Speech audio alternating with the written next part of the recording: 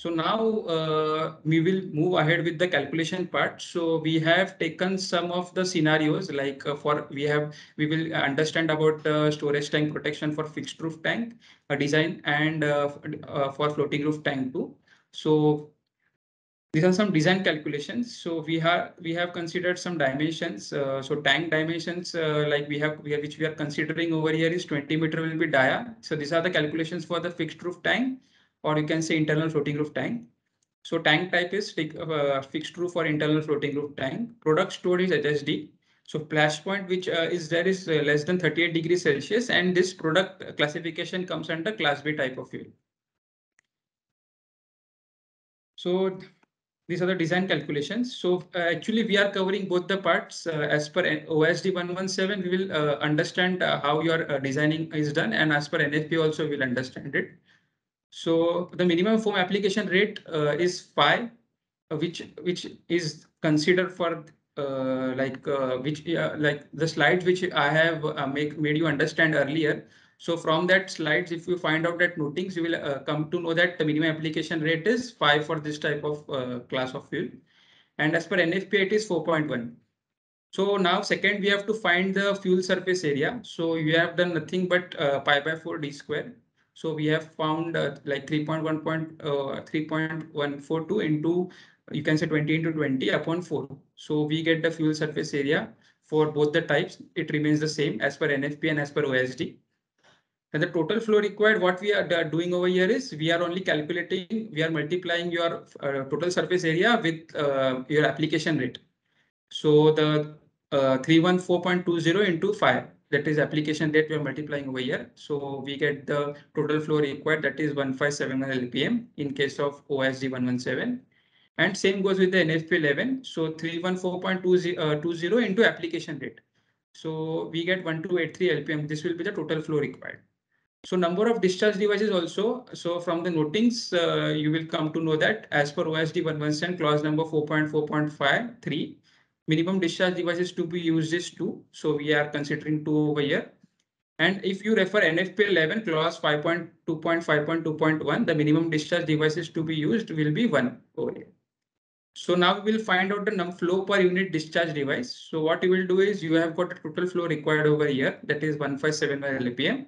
You will divide it by the number of discharge devices. So you will get the flow per unit discharge over here that is 785.5 LPM and uh, here it is uh, the number of discharge devices one and your total flow is 1283 lpm so uh, the, flow per unit discharge remains the same. So as this is a fixed roof tank or uh, you can say internal floating roof tank so discharge devices which needs to be used over here is foam chamber with deflector for both the types.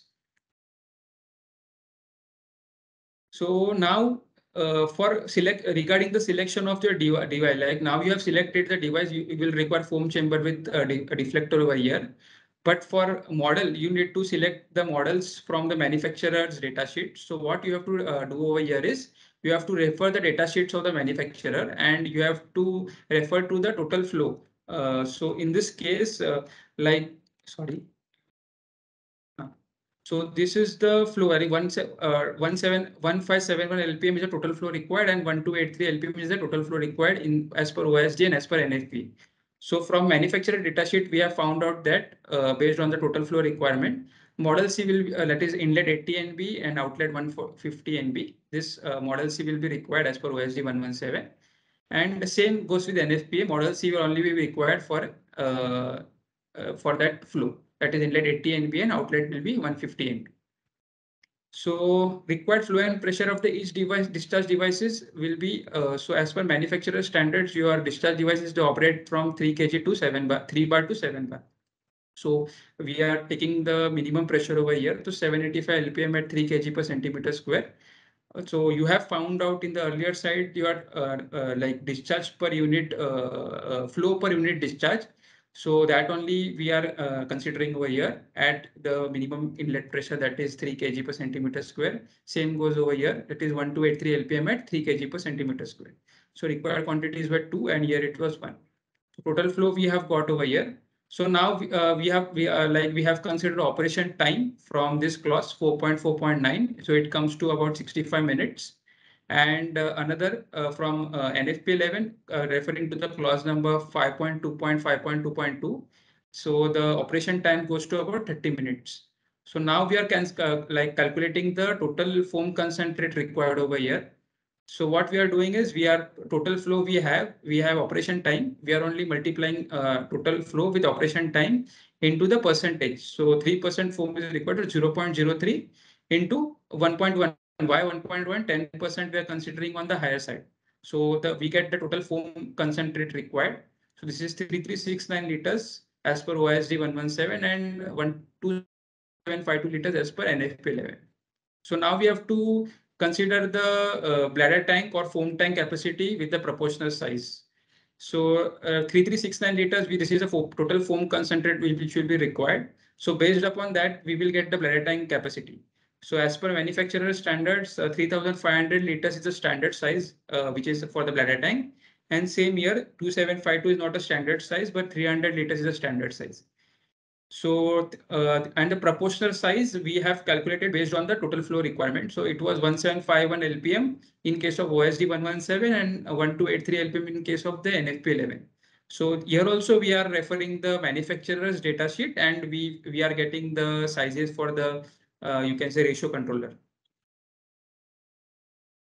So you, like here you can use the two type of devices. One is the bladder tank with your uh, ratio controller, or else you can use foam tank with your inline inductor or ILBP. So here same uh, we are referring the manufacturer data sheet in case of inline inductor or ILBP, and we uh, we are calculating the uh, you can say the uh, size for the inline inductor and the size for the ILBP. So these were the calculations for the fixed roof tank. So same we will uh, understand for the floating roof tank. We are considering the same tank that is 20 meter diameter and 14.450 uh, meter height. Tank type will be floating roof tank. Product stored will be HSD. Flash point is same, less than 38 degrees Celsius and product classification is class B type of. This is an pictorial image which uh, depicts floating roof tank. So here also uh, we are showing the uh, like uh, design as per o, uh, uh, OSD 117 and as per NFP 11. So minimum foam application rate, if you refer the tables, which we have understood before, as per OSD 117, it comes to 12 and as per NFP 11, it comes to 12.2. So same uh, will be the process. We will calculate the fuel surface area so in that, in this case, as we have internal floating roof, uh, this is a floating roof tank. So that there will be a foam dam which needs to be protected over here. So what you have to do, you have to do your external diameter minus your internal diameter.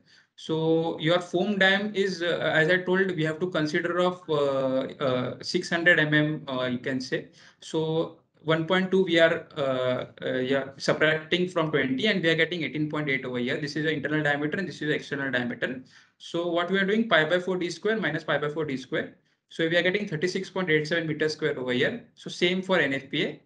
So there will be no change. Then we have to find a total flow required. So what we will do over here is we will multiply your fuel surface area with the application rate. So uh, we, we get for as per OSD, we get 442.44 LPM and uh, as per NFPA, we get 449.814 LPM. So next step is the number of discharge devices which will be required. So if you refer OSD 117 clause 4.4.53, so number of discharge devices which will which will uh, we will require will be two. And as per NFPA, if you refer uh, uh, clause 5.3.5.3.1, the discharge devices which will be used will be one, which will be required will be one. So now we have to calculate the flow per unit discharge device. So how you, you will calculate it? You will divide your total flow required by the number of discharge devices.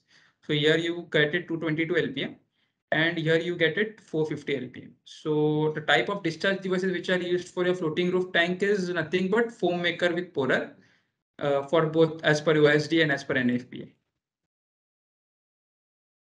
So now uh, we need to uh, like select the model for foam maker. So here uh, we have to go like same. Uh, we have to refer the manufacturer's data sheet and based on the total flow requirement, we have to consider the model size. So here we have considering model A inlet 50 NB and outlet 80 NB. Same goes with NFPA model B inlet 65 NB and outlet 100 NB.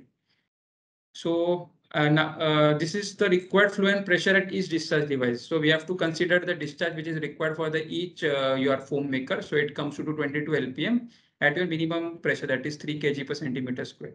Same goes over here 450 LPM at 3 kg per centimeter square. So required quantities were two, required quantities were one. Total flow requirement was 443, 443 LPM. Here it was 450 LPM. So operation time uh, from if you refer clause number 4.4.9, uh, you will get it 65 minutes as per OSD 117. And if you refer clause 5.3.5.3.1, you will get 20 minutes for NFP 11. So we are uh, calculating the total foam concentrate required over here. So what we are doing is which we are multiplying the total flow required with your operation time into your uh, 0.003. This will be your foam concentrate. Uh, yeah, that is 3%. And into 1.1, that is your, we are considering 10% on the higher side. So we are getting 950 liters as per OSD 117 and uh, 297 liters as per NFP 11. So now next step will be we have to calculate the bladder tank capacity. So 950 is not the standard size. So 100, 1000 liters capacity is considered. And same here, 297 is not a standard size. That's why 300 liters is considered over here. And uh, 50 NB ratio controller size, same, we have to refer the data sheets of the manufacturer and we have to see the total flow requirement and we have to see where it where it fits in which model it fits so 50 nb model 453 lpm and 50 nb model 450 lpm both are fitting so we have considered 50 nb over here so same you can use bladder tank or you can use foam tank with your inline inductor or ILBP. So we are also showing some calculations for inline inductor and ILBP over here. Same we have to refer the total flow requirement and refer the uh, manufacturer data sheets and find out the suitable models. So we are getting 65 NB for both ILBP and inline inductor. So this was about the fixed roof tank and the floating roof tank calculations. So now in case of the spill fire, so we need to calculate, uh, understand the design calculations for your dike area protection. So in further slides, we are going to show that like we are going to understand more about uh, dike area protection, how it happens, some design calculations for dike area protection. So we are considering uh, the dike uh, which it, uh, width and length that is 35 meter is the width and uh, 60 meter is the length. So tank like in the tank in that particular dike there are two tanks of diameter 20 meter. Product stored is HSD same. Flash point is less than 38 degrees Celsius and product classification is class B over here.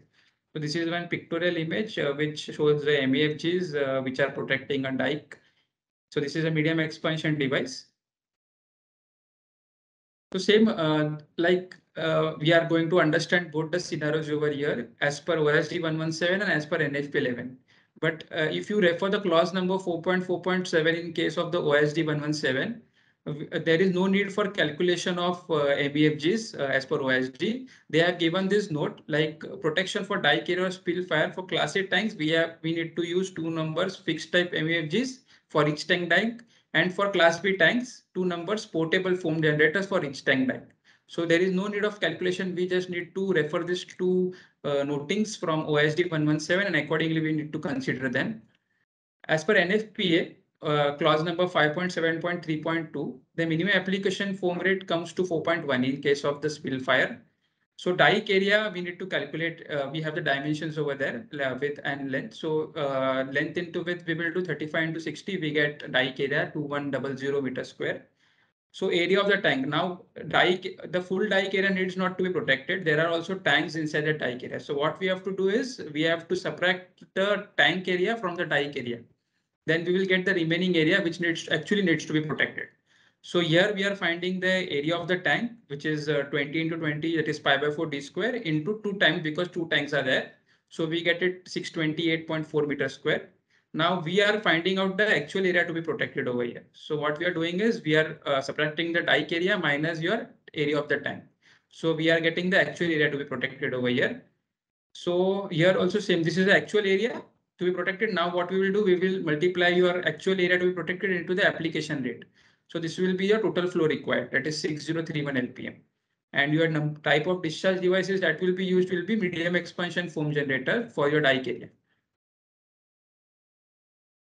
So as per NFP 11, number of discharge devices, if you refer this clause number 5.7.3.5.3.2, uh, based upon your uh, you can say the tank diameter periphery, the spacing between those, uh, it should be 24 meter apart. Uh, sorry, for dike area, uh, sorry, I got confused. So if you refer this clause number 5.7.3.5.2, you will directly get number of discharge devices over there. So it is coming to 12. So flow per discharge devices is total flow divided by the number of discharge device, which is 502.5 LPM. If you divide this by 6031 by 12, you will get 502.5 LPM. So selection of MEFG now we don't have this standard size that is 502.5 LPM. So as per manufacturing standards, we have 600 LPM of MEFG. So we have selected uh, 600 LPM over here. And the operation time, if you have a clause number 5.7.3.2, the operation time for a MEFG should be 20 minutes. So now what we will do, we will calculate the bladder tank capacity, which will be required for this uh, dike area. So total foam concentrate, which we will require to uh, need to be calculated to calculate the bladder tank capacity. So what we are doing is 7200. We are getting it from this year only. So selection of MEFG, we are selecting 600 LPM of your MEFG into 12. So we will get 7200 over here into operation time that is 20 into your foam concentrate uh, ratio that is 0.03 into 1.1 that will be 10% on the higher side. So you will get 4752 liters of your foam uh, concentrate which will be required for your dike area protection. So the bladder tank capacity uh, comes to about 500 liters uh, if we go as per the manufacturing standards and if we uh, like if we uh, see the total flow required in the manufacturing data sheet, the proportional size which we get is 150 NB for uh, two, which covers your 6031 or 7200 LPM of your flow. So uh, this was all about now uh, like fixed foam system uh, in for the floating roof tank or fixed roof tank and the dike area protection. So these were the primary uh, devices which are and the secondary or tertiary devices which are used for your uh, storage tank protection. But water spray system is also being used for your storage tank protection, basically for tank cooling. So this is just a pictorial view like how your MV nozzles are placed at the periphery and uh, like it is used for the tank cooling. So in our future webinars, we will cover these calculations for your MV nozzles, how your MV nozzles quantity is calculated for uh, uh tank cooling.